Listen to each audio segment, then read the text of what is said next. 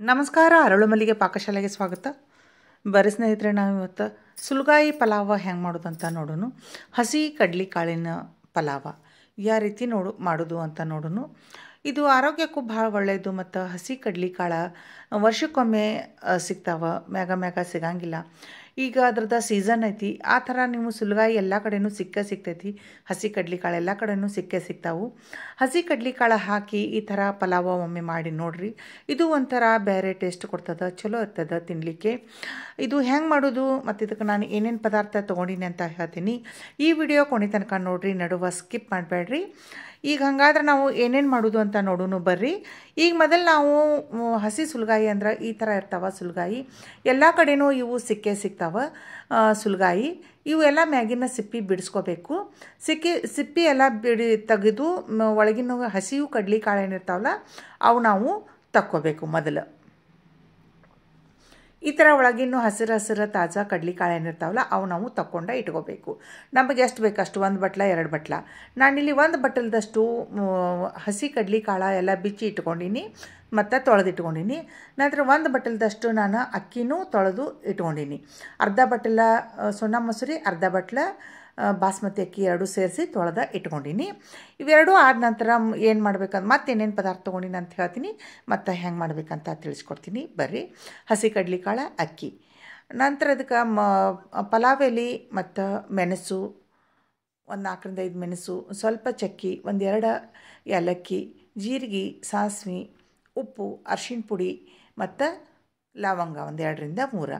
ನೀವು ಎಷ್ಟು ಮಾಡಿರ್ತೀರಿ ಅದ್ರ ಮ್ಯಾಗ ನೋಡಿ ಅನುಸಾರವಾಗಿ ಹಾಕೊಡ್ರಿ ಎಷ್ಟು ಹಾಕೋದು ಮತ್ತೇನೇನು ತೊಗೊಂಡಿನಿ ಅಂತಂದ್ರೆ ಒಗ್ಗರಣೆಗೆ ಎಣ್ಣೆ ತೊಗೊಂಡಿನಿ, ಒಂದು ಎರಡು ಉಳ್ಳಾಗಡ್ಡಿ ಹೊಳಿಟ್ಕೊಂಡಿನಿ ಒಂದು ಐದರಿಂದ ಆರು ಹಸಿಮೆಣಸಿನ್ಕಾಯಿ ಉದ್ದುದ್ದಾಗಿ ಅವು ಹೆಚ್ಚಿಟ್ಕೊಂಡಿನಿ, ಒಂದು ಟೊಮೆಟೊ ಹೊಳಿಟ್ಕೊಂಡಿನಿ ಒಂದು ಸ್ವಲ್ಪ ಕೊತ್ತಂಬರಿ ಮತ್ತು ಒಂದು ಎಂಟರಿಂದ ಹತ್ತು ಗೋಡಂಬಿ, ಒಂದು ಒಂದು ಚಮಚದಷ್ಟು ತುಪ್ಪ. ಇಷ್ಟು ಪದಾರ್ಥ ತೊಗೊಂಡ ನಂತರ ನಾವು ಈ ಕಡ್ಲಿ ಕಾಳು ಏನಿರ್ತದಲ್ಲ ಸ್ವಲ್ಪ ಮಿಕ್ಸರ್ ಮಾಡಿ ಮಾಡ್ಕೊಂಡು ಬರಬೇಕಾಗ್ತದೆ ಗ್ರೈಂಡ್ ಮಾಡಿಕೊಂಡು ನೀರದು ಏನು ಹಾಕಬಾರ್ದು. ಸ್ವಲ್ಪ ಒಂದೆರಡು ಸುತ್ತ ತಿರುಗಿದ್ರೆ ಸಾಕು. ಈ ಥರ ಅನ್ನದಾಗ ಬಾಯಿ ಒಳಗೆ ಸಿಗಬೇಕು. ನಾವು ಪಲಾವ್ ಒಳಗೆ ಕಾಯಿಪಲ್ಯ ಅದು ಹೆಂಗೆ ಹಾಕ್ತೇವೆ, ಹಂಗೆ ಅವು ಬಟಾಟಿ, ಗಿಟಾಟಿ ಎಲ್ಲ ಹೆಂಗೆ ನಾವು ಬಾಯಿ ಒಳಗೆ ಸಿಗ್ತಾವಲ್ಲ ಅಣ್ಣದ ಜೊತೆ, ಹಂಗೆ ಇವು ಕಡ್ಲಿ ಕಾಳನ್ನು ಅಣ್ಣದ ಜೊತೆ ಬಾಯಿ ಒಳಗೆ ಸಿಗಬೇಕು. ಈಗ ನಾನು ಗ್ಯಾಸಿನ ಮ್ಯಾಗ ಕುಕ್ಕರ್ ಇಟ್ಟೀನಿ, ಎಣ್ಣೆ ಹಾಕೀನಿ. ಎಣ್ಣೆಗೆ, ಸಾಸಿವೆ, ಜೀರಿಗೆ ಹಾಕೋತೀನಿ. ಸಾಸಿವೆ, ಜೀರಿಗೆ ಚಟಪಟ. ಆದ ನಂತರ ಮಸಾಲೆ ಸಾಮಾನು ಏನು ತೊಗೊಂಡಿರ್ತೀವಲ್ಲ ಅವೆಲ್ಲ ಒಮ್ಮೆನೇ ಹಾಕಿಬಿಡ್ತೀನಿ. ಹಾಕಿ ಸ್ವಲ್ಪ ಗೋಡಂಬಿನೂ ಹಾಕಿ ಇದೊಂದು ಸ್ವಲ್ಪ ಮಿಕ್ಸ್ ಮಾಡ್ಕೊಳ್ಳೋನು. ಇದು ಪಲಾವ ಇದು ಯಾರ ಮಾಡ್ಯಾರ ಇಲ್ಲೋ ಗೊತ್ತಿಲ್ಲ, ಇದು ಫಸ್ಟ್ ಟೈಮ್ ಅಂತ ನಾನು ಅನ್ಕೋತೀನಿ. ನಮ್ಮ ಕಡೆ ಸೈಡ ನಾವು ನಮ್ಮ ಮನೆ ಒಳಗೆ ನಾವು ಇದನ್ನು ಮಾಡ್ತೀವಿ. ಹೆಂಗೆ ಅನಿಸ್ತದಂತ ನೋಡಿರಿ ನೀವು. ಹಸಿ ಕಡ್ಲಿ ಕಾಳ ನಿಮಗೆ ಸಿಕ್ಕರೆ ಈ ಥರ ಪಲಾವ ಒಮ್ಮೆ ಮಾಡ್ಕೊಂಡು ತಿಂದು ನೋಡಿರಿ. ಈಗ ಸ್ವಲ್ಪ ಮಸಾಲೆ ಸಾಮಾನ, ಗೋಡಂಬಿ ಎಲ್ಲ ಹುರಿದ ನಂತರ ಹಸಿ ಹಸಿ ಮೆಣಸಿನ್ಕಾಯಿ ಮತ್ತು ಉಳ್ಳಾಗಡ್ಡಿನೂ ಹಾಕ್ಕೊಂಡು ಸ್ವಲ್ಪ ಫ್ರೈ ಮಾಡ್ಕೋಬೇಕು. ಭಾಳ ಫ್ರೈ ಮಾಡಬಾರ್ದು. ಅಗದಿ ಉಳ್ಳಾಗಡ್ಡಿ ಹಿಂಗೆ ಮೆತ್ತಗಾಗಬಾರ್ದು ಗಿನ್ಸಾಗಬಾರ್ದು ಎಣ್ಣೆ ಒಳಗೆ ಸ್ವಲ್ಪನ ಫ್ರೈ ಮಾಡ್ಕೊಂಡು ಬಿಟ್ಬಿಡ್ಬೇಕು. ಉಳ್ಳಾಗಡ್ಡಿನೂ ನಮ್ಗೆ ಹಣ್ಣು ಜೊತೆ ತಿನ್ನಲಿಕ್ಕೆ ಬಾಯಿಯೊಳಗೆ ಸಿಗಬೇಕು ಕ್ರಂಚಿಯಾಗಿ. ನಂತರ ಈಗ ಕಡ್ಲಿ, ಹಸಿ ಕಡ್ಲಿದೇನು ನಾವು ಗ್ರೈಂಡ್ ಮಾಡ್ಕೊಂಡಿರ್ತೀವಲ್ಲ, ದಪ್ಪ ದಪ್ಪಗೆ ಏನು ಸಣ್ಣ ಮಾಡ್ಕೊಂಡಿರ್ತೀವಲ್ಲ, ಅದನ್ನು ಹಾಕಿ ಎಲ್ಲ ಚೆನ್ನಾಗಿ ಒಂದು ಸಲ ಮಿಕ್ಸ್ ಮಾಡ್ಕೋಬೇಕು. ಸ್ವಲ್ಪ ಎಣ್ಣೆ ಒಳಗೆ ಹುರಿದಂಗೆ ಮಾಡಬೇಕು. ಅದರದ ಹಸಿ ವಾಸನೆ ಹೋಗುವಂಗೆ ಸ್ವಲ್ಪ ಹುರಿದ್ರೆ ಸಾಕು. ನಂತರ ನಾವು ಇದಕ್ಕೆ ಒಂದು ಸ್ವಲ್ಪ ಅಕ್ಕಿ ಹಾಕೊಂಡು ತೊಳೆದಿಟ್ಕೊಂಡಿದ್ದು ಅಕ್ಕಿ ಹಾಕೊಂಡ ನಂತರ ಸ್ವಲ್ಪ ಅರ್ಶಿಣ ಪುಡಿ, ಉಪ್ಪು, ಮತ್ತು ತುಪ್ಪ, ಕೊತ್ತಂಬರಿ ಹಾಕೊಳ್ಳೋಣ. ನಮ್ಮ ವಿಡಿಯೋ ನೋಡಿದವರು ಯಾರಿನ್ನೂ ಸಬ್ಸ್ಕ್ರೈಬ್ ಮಾಡಿಲ್ಲ ಅವರು, ಮರೀದೆ ಒಂದು.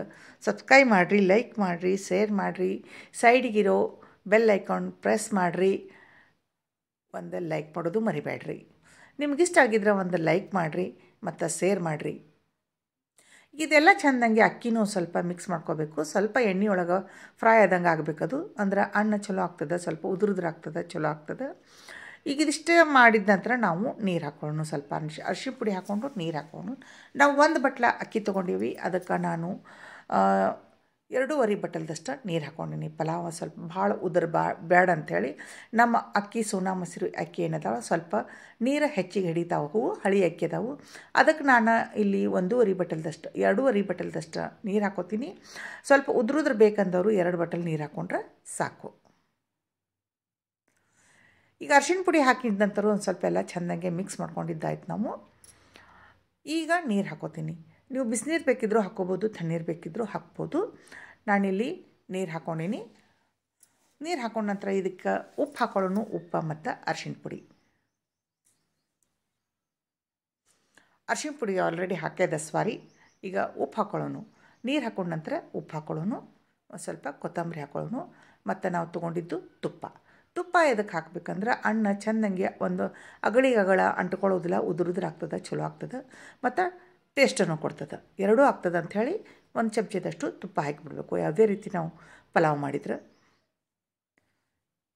ಈಗ ರುಚಿಗೆ ತಕ್ಕಷ್ಟು ಉಪ್ಪು ಹಾಕ್ಕೊಂಡಿದ್ದಾಯಿತು ಕೊತ್ತಂಬರಿ ಹಾಕ್ಕೊಂಡು ಒಂದು ಮಿಕ್ಸ್ ಮಾಡಿ ತುಪ್ಪ ಹಾಕ್ಕೊಂಡು ಬಿಡೋಣ.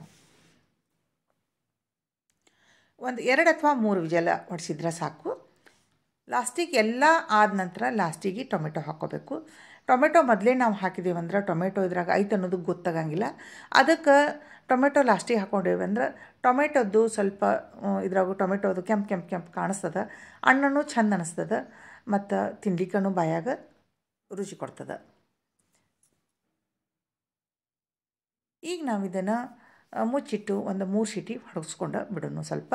ಮಿಕ್ಸ್ ಮಾಡ್ಕೊಡ್ರಿ ಮಿಕ್ಸ್ ಮಾಡ್ಕೊಡೋದು ವಿಡಿಯೋ ಇಲ್ಲಿ ಸ್ಕಿಪ್ ಆಗ್ಯದ. ಈಗ ಮೂರು ಸೀಟಿ ಹೊಡೆದ ನಂತರ ನೋಡಿರಿ ನಮ್ದು ಪಲಾವ ಎಷ್ಟು ಚಂದ ರೆಡಿ ಆಗ್ಯದ. ಅಗದಿ ಬೆಸ್ಟ್ ಆಗ್ಯದ ತಿನ್ನಲಿಕ್ಕೆ ಈ ವಿಡಿಯೋ ನಿಮ್ಗೆ ಹೆಂಗೆ ಅನಿಸ್ತು ಅಂತ ಹೇಳ್ರಿ. ಇಷ್ಟವಾಗಿದ್ರೆ ಸಬ್ಸ್ಕ್ರೈಬ ಲೈಕ್ ಶೇರ್ ಮಾಡೋದು ಮರಿಬೇಡ್ರಿ. ನೋಡಿದ್ರಲ್ಲ ಎಷ್ಟು ಉದ್ರುದ್ರಾಗಿ, ಅಗದಿ ಟೇಸ್ಟಿಯಾಗಿ ಅಗದಿ ಚಲೋ ಆಗಿ ಹೆಂಗೆ ಕಾಣಿಸ್ಲಿಕ್ಕತ್ತದ ಅಷ್ಟ ರುಚಿನೂ ಆಗ್ಯದ. ಪ್ಲೀಸ್ ನಿಮ್ಮ ಕಡೆ ಹಸಿ ಸುಲಗಾಯಿ ಅಥವಾ ಹಸಿ ಕಡ್ಲಿ ಸಿಕ್ಕರೆ ಈ ಥರ ಒಮ್ಮೆ ಪಲಾವ್ ಮಾಡೋದು ಮರಿಬೇಡ್ರಿ ಇಂಥದೇ ಮತ್ತೊಂದು ವಿಡಿಯೋದೊಂದಿಗೆ ನಾನು ನಿಮ್ಮ ಮುಂದೆ ಬರ್ತೀನಿ. ಅಲ್ಲಿವರೆಗೂ ಧನ್ಯವಾದಗಳು.